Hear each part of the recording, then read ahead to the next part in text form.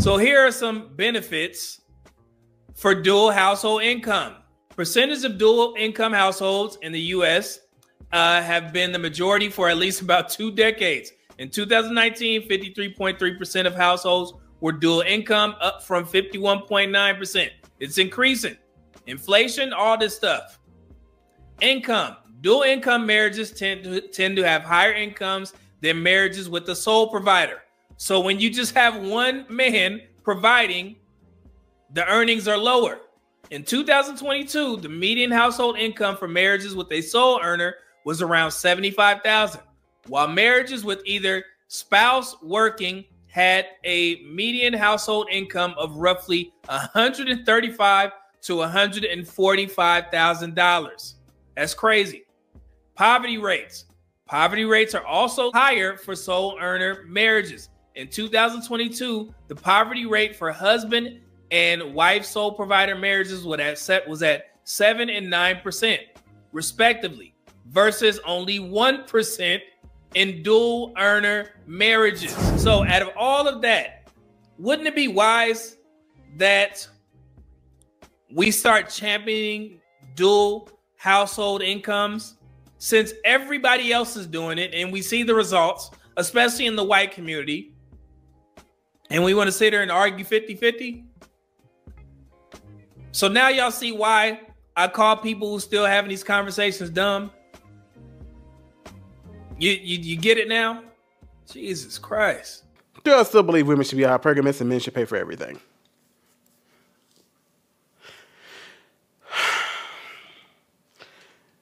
If you want to build generational wealth, if you really want to build an empire, my suggestion would be, like I've said before, both of you work. The only time I ever talk about being hypergamous and men should pay everything is when there is kids involved.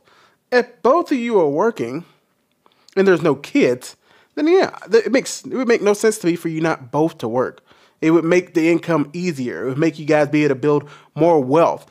And because both of you are working, both of y'all can pretty much, for the most part, work a job you somewhat enjoy. You don't have to go work somewhere you don't want to because you got two incomes coming in.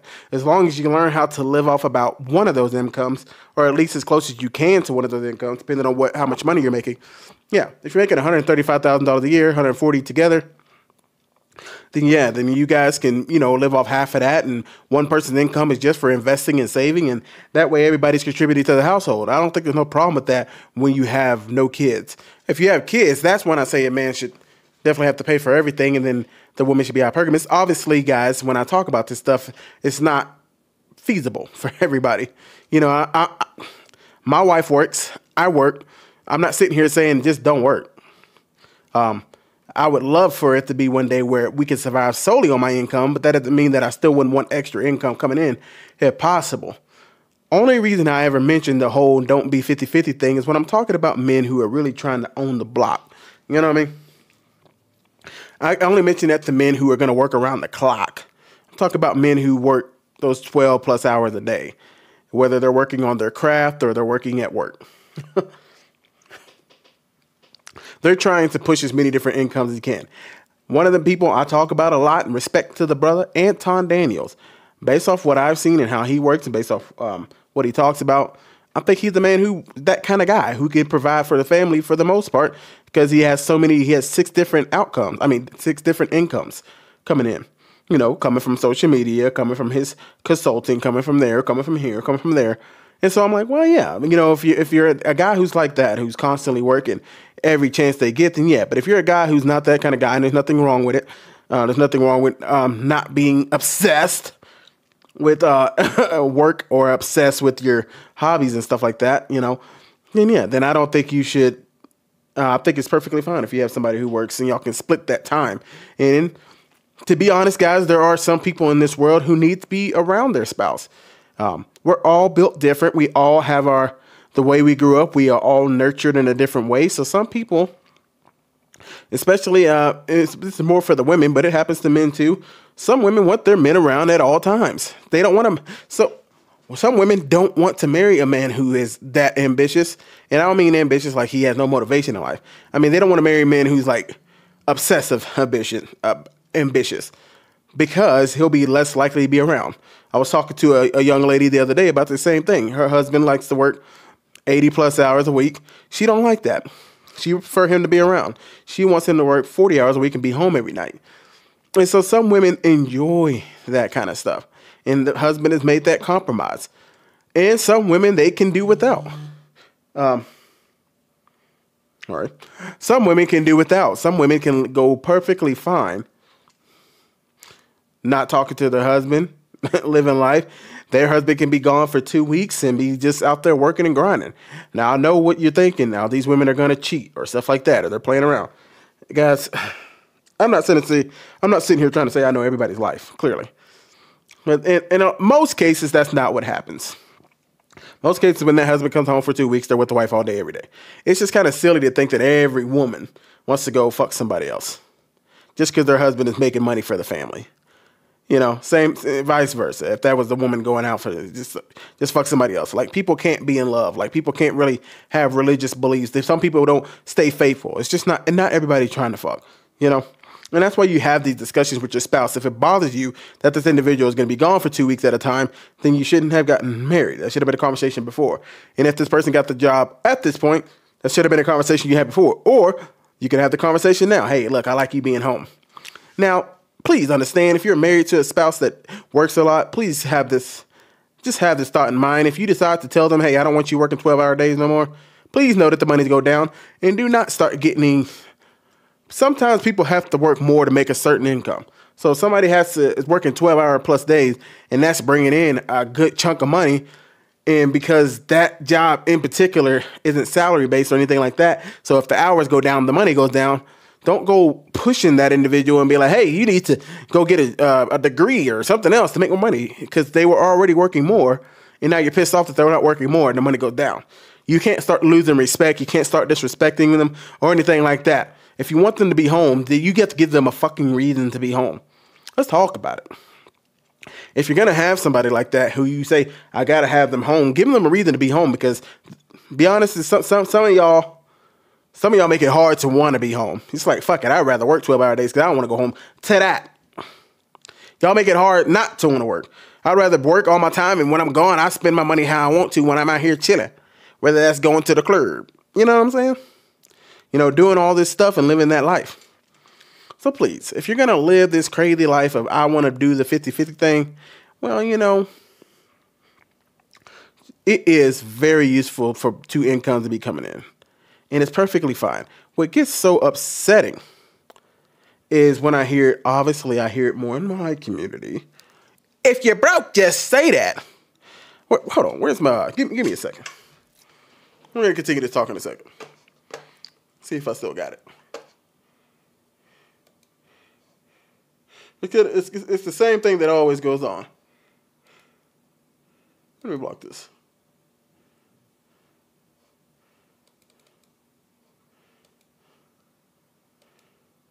Here it is.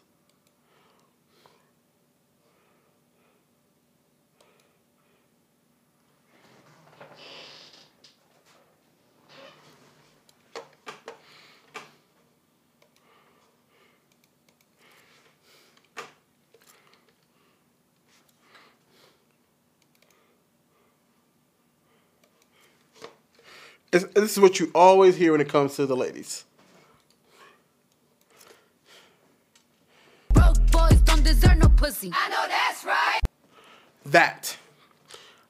Boys don't deserve no.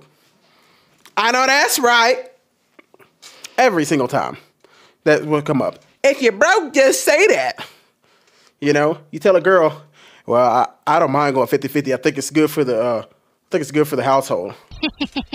They're laughing in your face, making you look goofy. That's all I'm saying. Let's let's let's get away from the if you're broke, just say that. Because what the fuck did it? I mean, you know what's so crazy also is for our community that says every one of our women are boss girls. you know what I'm talking about. All our women are boss babes. They get the bag and they making all this dough. Y'all sure they complain about money a lot. Y'all sure they complain about money coming in. You sure they complain about and you need this and you need that. That's just crazy to me. And it's just crazy that you want to live a life. And I, I made a talk about I talked about this yesterday. That video will be coming up after this live stream. Tune in. Yeah, by the way, now I'll talk about that later. But after this video, check that out. Too many times we get stuck in wanting this certain lifestyle in our community. If you're broke, just say that. Shut the fuck up. It's like, what life are you wanting to live? A life of impressing other bitches who don't matter? Come on, girl. That's what you want to do? Impress some girls you don't like? Or are we trying to build a life here? Hear me the Hear me out. Hear me out. Are we trying to build a life in generational wealth or are we trying to spend all our fucking money looking good for people we don't give a fuck about? Can we well I mean can we do can we do something else? Cuz back in the day building that's why other communities can have generational wealth and you have certain communities that are always broke. Y'all know what I'm talking about. The dollar doesn't circulate long.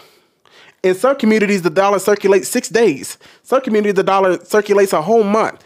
In other communities, the dollar don't even circulate before it's gone by midnight. That means they get a paycheck and the paycheck is gone before the fucking clock hits midnight in certain communities because it's that whole bullshit of if you're broke, just say that.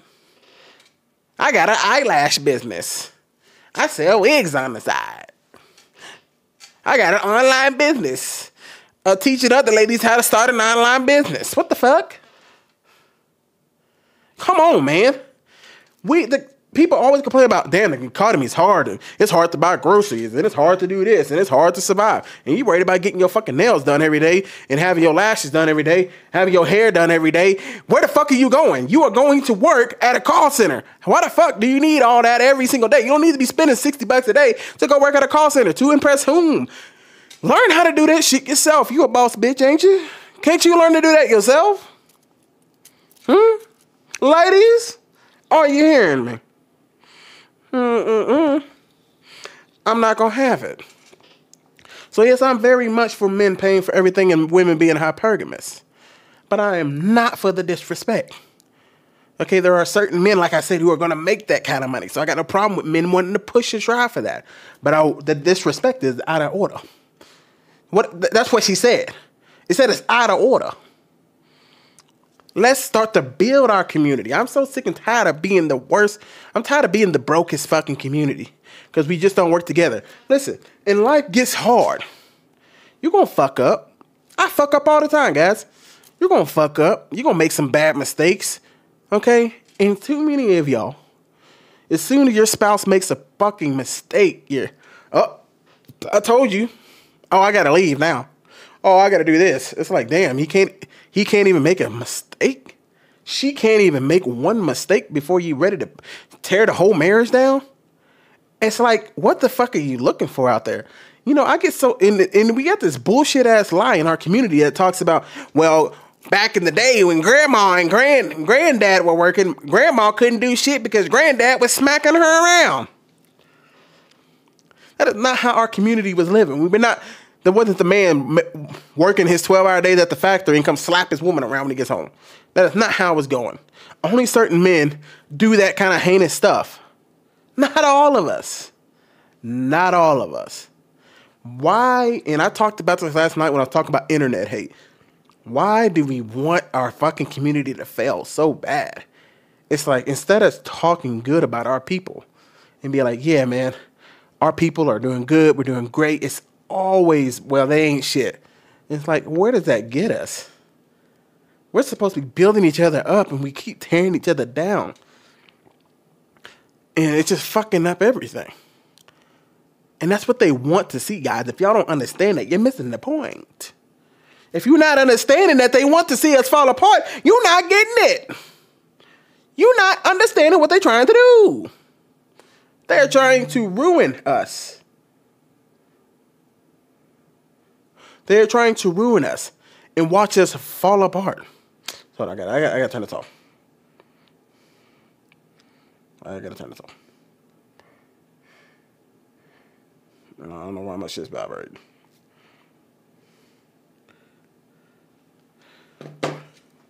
We cannot sit here and keep allowing ourselves to be confused.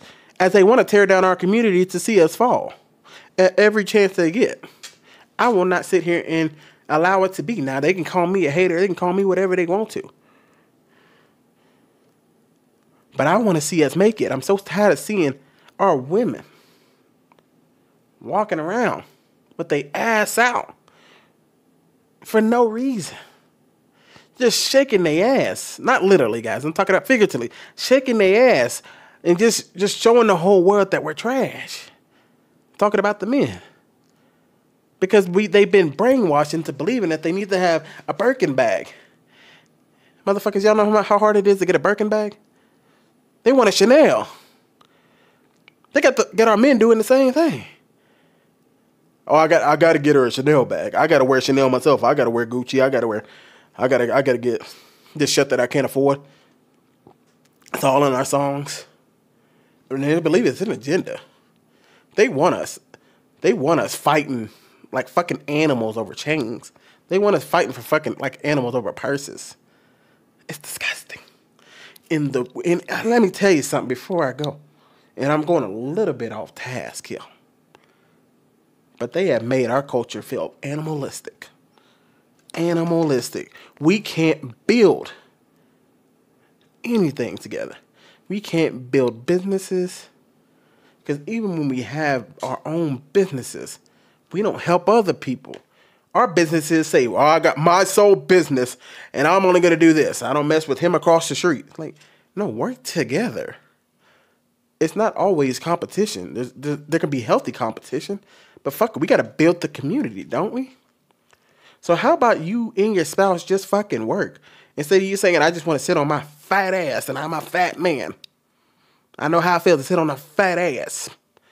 But how about not sitting on your fat ass all day and going, I just, I'm glad I don't have to work.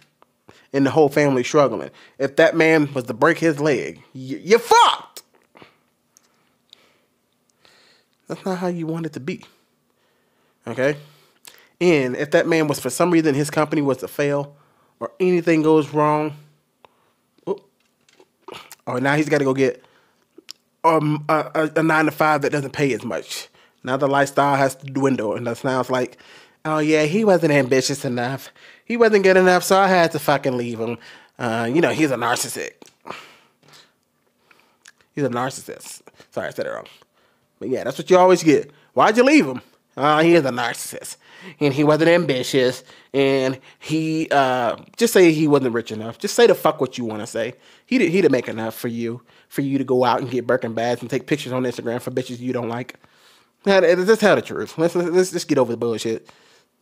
Because it's, it's very rare you're going to come across a couple that the man was just god awful. He's making all the money and then he slips.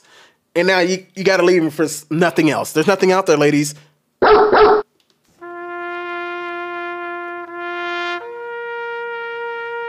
And for you men, and for the men, and this is on me here, but for you men who look down on other men who do the 50 50, you're stupid as hell. You're, you're just as dumb. Their family is doing way better than yours because you work a $70,000 job a year and they're together making six figures plus, and they're only living off one of those incomes. You getting broker by the day and they still got something to work on. They're saving money, investing, and you wonder why they get to go do life and live it up and you sitting here just struggling to make it every day because you got to go to work every time, and you come home, and you wonder why your family can't build no fucking wealth in your family. You wonder why your your last name don't mean shit in the streets, because you over here getting down on men because their wife works, and it makes you feel like a big dog. It makes you feel like one of them big. You feel like one of the big, big niggas. Because you out there, yeah, man, I'm out here working and hustling. My, my bitch ain't ever got to work. You know what I'm saying? I'm out here like that, man. No, you ain't out there like that, brother. You ain't here living that life. It's stupid. It's goofy. It's ridiculous. Let's work together and build something. Okay? We are not idiots. We are not dumb. We are a beautiful community. We are human beings like everybody else. We just got to think different. And I get it. I'm the one who was making a whole hour and a half video talking about this shit. But I was talking about a subset of men.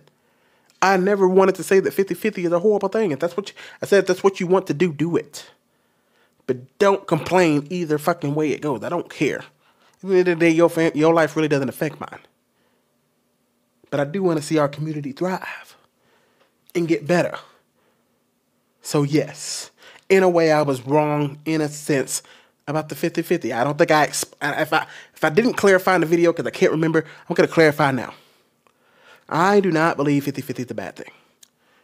I still also believe that men can pay for everything, and I'm fine with women being hypergamous. But just understand the, va- the vast majority of you women aren't going to get a man like that. You can be hypergamous and try to date up, but you got to earn it. You're not to, those men ain't just out on the streets, just walking around. You're to have to be a different type of woman to get those kind of men. And if you can't, just be okay with working and don't bitch and don't complain because you can't live that lifestyle. That's all I'm saying.